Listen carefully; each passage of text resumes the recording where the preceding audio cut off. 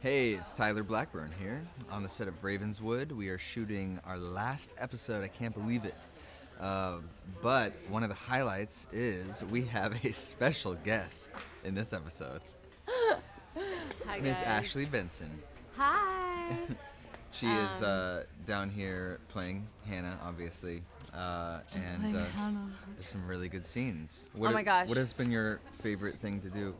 well, my least favorite and favorite was at a bathtub scene. I'm deathly afraid of spiders, and I had to have a spider like crawl by my hand, and it was like this big, so it wasn't that big, but I was screaming. I almost cried, and the thing jumped into the bathtub, so I literally like launched myself out. It was like holding myself up because I was terrified, and then they had to like grab me and carry me out of the tub because I was so scared.